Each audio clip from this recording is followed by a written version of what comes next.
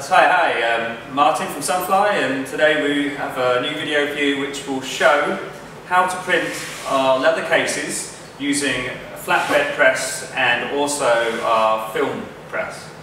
Um, it is different from the previous uh, videos because we're using a slightly different method which improves the quality of the print to the leather cases. Um, so yeah, we have our flatbed here and our film press.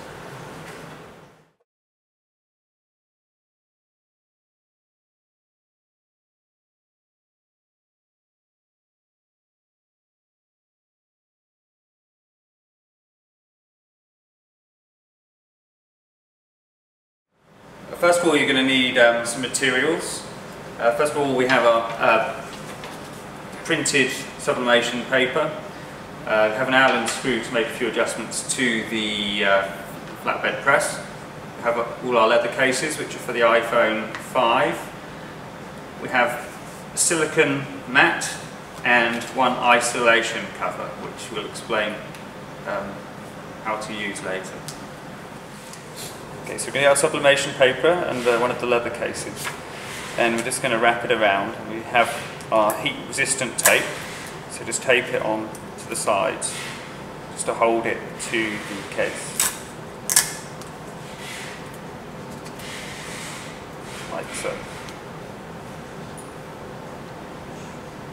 Now we're going to show you how to set the time. So we pull the handle and we're just going to go down to 30 seconds then we're going to wait for the light to stop blinking. It takes about 10 seconds. And now it's been confirmed. The time has been reset. Now here is the temperature gauge and this should be at 185 degrees.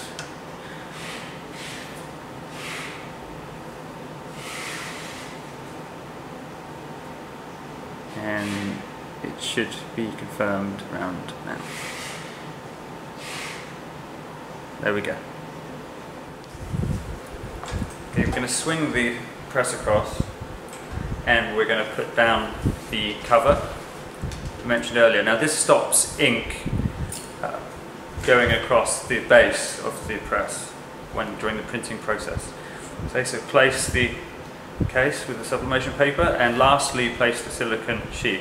Now once the silicon sheet's placed on top, do not move it um, or slide it ar around to readjust the position.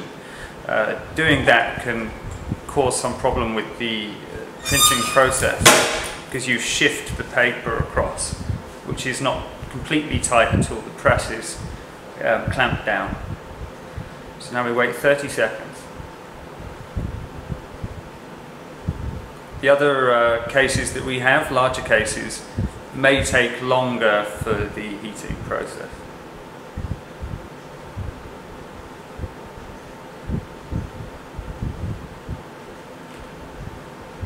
Okay, so the 30 seconds so release the clamp, slide across, and we're going to leave it for a moment to cool down before removing the sublimation paper. Okay, so I'm going to remove the sublimation paper and actually we've had the case standing now for about two to three minutes to cool down, which is a normal time which you should let it cool down for. Once we've removed the sublimation paper, we will then uh, put it onto the case with the foam foil so you can see it. So the printing looks really nice. So just remove the tape from plastic segment. A little bit fiddly unless you've got long nails though. Okay, got it. Okay, so on the underside, we'll place it straight as we can so it fits.